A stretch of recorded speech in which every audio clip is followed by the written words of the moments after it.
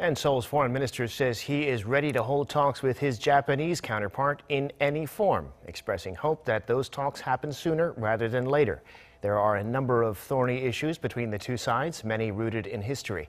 And when it comes to China, the foreign minister emphasized that South Korea does not need to choose between China and the U.S.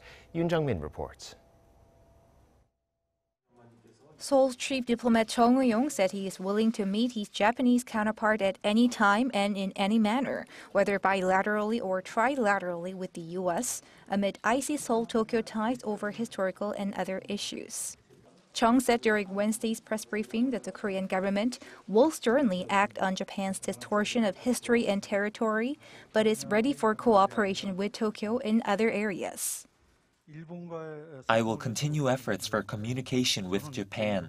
Personally, I hope a South Korea Japan foreign ministers meeting will be held early.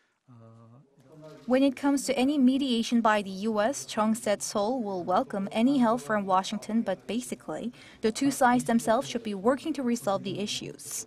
The foreign minister added that Seoul's foreign ministry has sent a senior diplomat in charge of Asia and Pacific affairs to Japan for talks at a higher working level. On the issue of South Korea's position between the U.S. and China, Chung said it is not a black and white choice, adding there are various areas for cooperation, including Korean Peninsula affairs, health issues, and tackling climate change.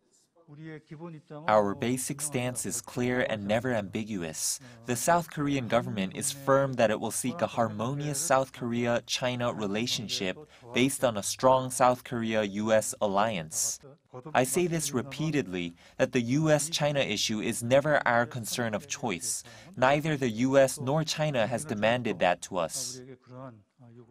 When the South Korean foreign minister sits down with his Chinese counterpart Wang Yi this week, the two sides are to discuss Korean peninsula issues as well as bilateral issues, including a possible visit to Seoul by Chinese President Xi Jinping.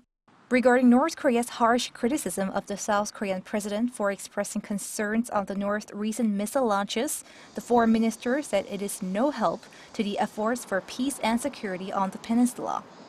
While expressing regrets over Pyongyang's backlash, Seoul's foreign minister yet again urged North Korea to join the push for lasting peace on the Korean peninsula, as had been promised by the leaders of the two Koreas. Yoon Jung-min, Arirang News.